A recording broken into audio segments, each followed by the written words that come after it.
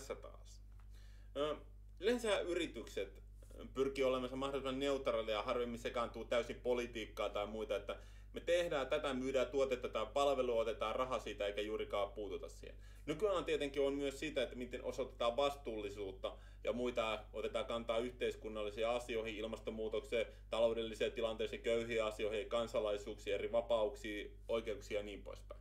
Ja jos yritys tekee tätä ihan vapaasti, mutta silloin odotetaan, että sä noudatat jotain tiettyjä periaatteita. Nyt on tässä tapahtunut Activision Blizzard, se peliyhtiö tässä tapauksessa, joka on tuottanut se World of Warcraft, tai Overwatch ja niitä päin. Minäkin on pelannut niitä muutamia. Mutta se on vähän mielenkiintoinen, mielenkiintoisia tekoja tehnyt viime aikoina. Tässä tuli se Hongkongin tapaus, josta mä muutama kertaa puhunut, miten Kiin, halutaan siellä halutaan demokratiaa ja sananvapautta ja Kiinan Kiina yrittää jollain vähän tukahduttaa sitä toistaiseksi epäsuorasti. Se on missä vaiheessa se ottaa vähän koemat otteet käyttöön, joskin alkaa vähän merkkejä olla siitä.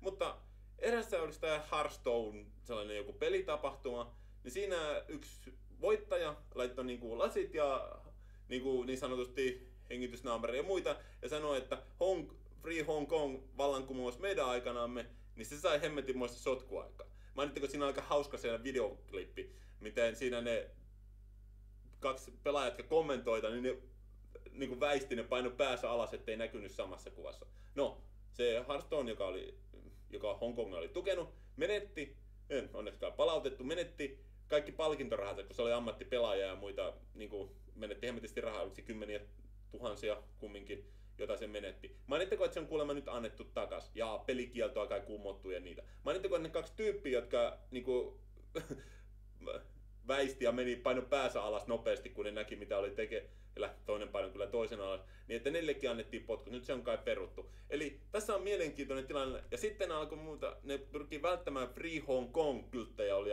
alkanut ilmestyä. Jotkut pelaajat ei oikein tykkää tästä asiasta. Kato, yritys huomasi, että Kato, kun kiinalainen valtio, se haluaa tietyn sensuurin ja tietyn näkyvyys, mitä on. Yleensä eri yhtiöt pyrkii tekemään, niin kuin Google ja muita, kun Kiinassa googlettaa Tianmin se taivaallisen rauha aukiota ja muita, niin löytyy vähän miele- erilaisia näkemyksiä ja eri tekstejä kuin mitä täällä länsimaissa. Mutta kumminkin. Eli nämä pelaajat oli alkanut vähän niinku kritisoida niinku Kiinan tekoja ja muita. Ja peliyhtiö pyrkii sensuroimaan niitä ja vaimentaa. Ja mainittako, että tämä ei ole mennyt hyvin niin kuin Blizzardin tekijöiltä, työntekijöiltäkään. Osa niistä muutama ihan suoraan kritisoi sitä ja eros palveluksesta ja muita ei enää osallistu. Tämä on paskamaista ja me ei tähän osallistu. Mainitteko, että osa työntekijästä otti ulosmarssinkin tästä asiasta.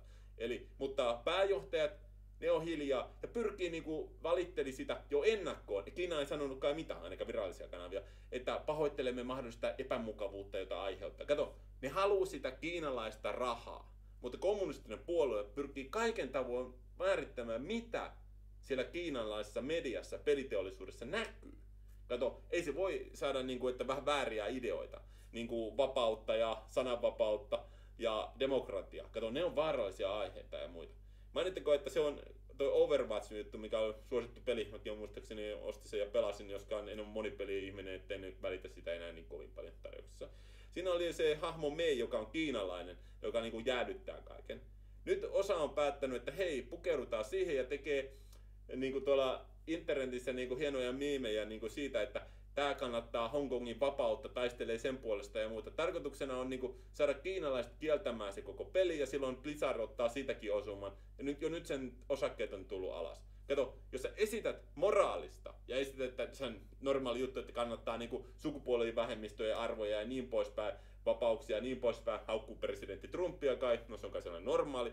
Mutta sitten, kun pitäisi osoitetaan, että niin, sä sensuroit ja oot hiljaa diktaattorilaisen ja hirmuvallan edessä ja pyrit täysin miellyttämään sitä, että saisit rahaa, niin se, että sä esität moraalista, niin on aika paskamainen veto monelta. Ja jos olisit niin kuin normaali sellainen yhtiö, jolla ei ole mitään arvoja tai muita, niin se menisi ehkä helpommin läpi. Mutta kun sä esität moraalista, tai ainakin, no yrität esittää sellaista, tai ainakin sanot, että olet moraalinen. Sitten kun sut pistetään testiin se moraali, sitten tuleekin vähän ongelmia, jos sä taivut joissain hyvin selkeissä tapauksissa, että et sä välitä.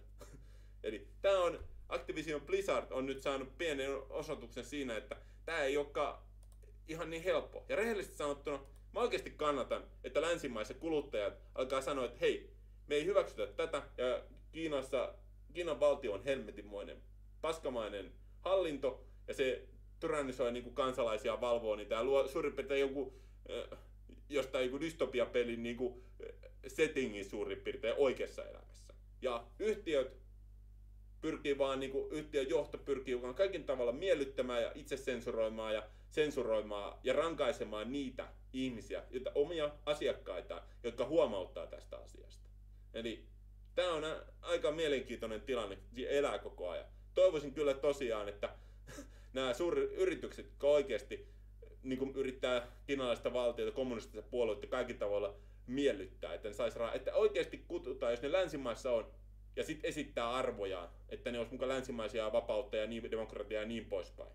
Kannattaa. No sitten pistetään niin tosiaan valitsemaan, kumpaa kannattaa.